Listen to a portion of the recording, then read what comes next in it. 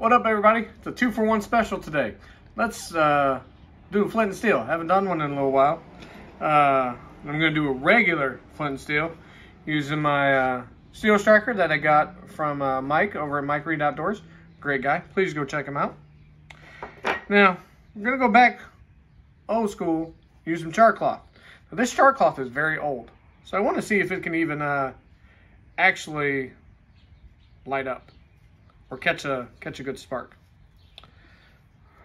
It's not a great. It's kind of a not a great rock to use. Do you have more? I do, but I want to. I like to try to make it a little more, a little harder on myself. Now remember, as good old Dominic says, don't go stingy on your char cloth. Okay. Don't burn yourself. Oh dang! I actually caught on the second one. Right?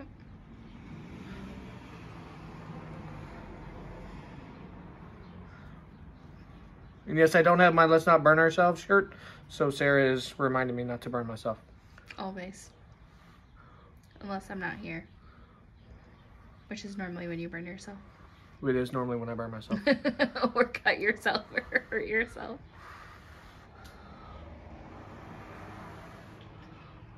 Next below should be flamage.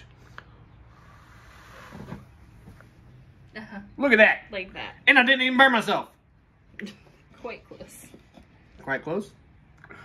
All right, everybody. Nice little flamage for Saturday Flint and Steel. Check out Dominic. Check out the master of uh, Flint and Steel, Dean over at Orion. Great guy from down under. Talk to you guys here later.